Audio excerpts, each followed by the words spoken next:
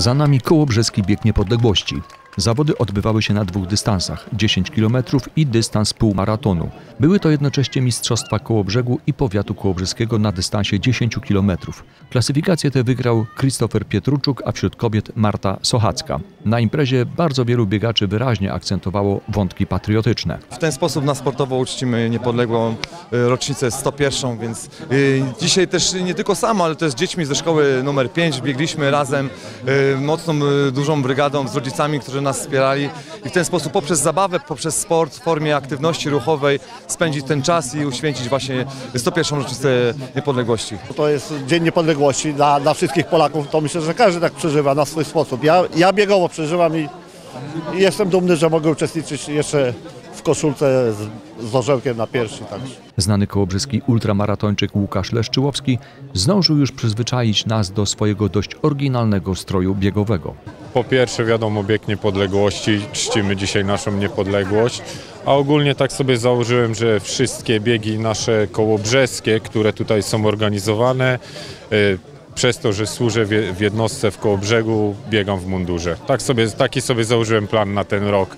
No prawie zrealizowałem go w 100%, tylko zabrakło mi biegu za Ślubin. A tak to maraton, bieg Solidarności, teraz półmaraton.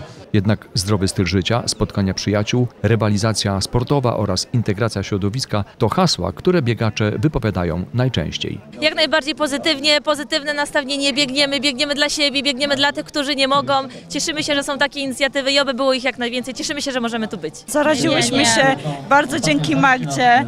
Ona nas zaraziła i chcemy dalej brnąć w to. Zawsze, gdzie mogę, biegam, trenuję, ćwiczę dużo. Mimo to, że mam wiele, wiele obowiązków, chyba jak każda z nas, bo jesteśmy mamami. E, osobiście mam czworo dzieci i myślę, że je, dla chcącego nic trudnego, jeżeli e, człowiek dobrze się zorganizuje, to może e, osiągnąć, e, osiągać różne cele i swoje, spełniać swoje marzenia. Myśmy tutaj z dziewczynami tak e, spontanicznie, spontanicznie już po raz któryś wyskoczyły i Grupa mamuśki, to Mamuśki. właśnie my. Dla mnie jest to bieg po zdrowie. Ja zaczęłam e, w sumie biegać po, po chorobie. Byłam przez jakiś czas sparaliżowana i w zasadzie to od tego się wszystko zaczęło.